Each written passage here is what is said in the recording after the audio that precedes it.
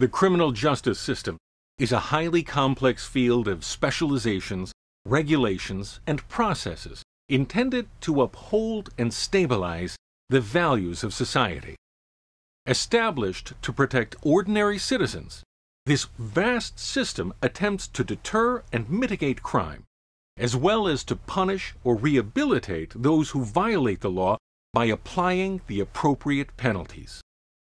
This fundamental course, offered by Police Science Institute, provides you a comprehensive overview of what criminal justice is all about, enabling you to make an informed choice as to which area of this fascinating field you wish to pursue as a professional career.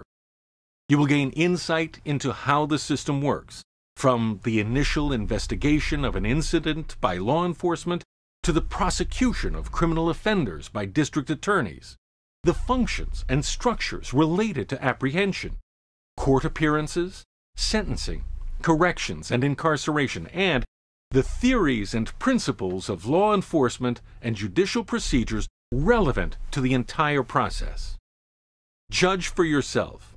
Learn more by browsing our website for additional information and register today.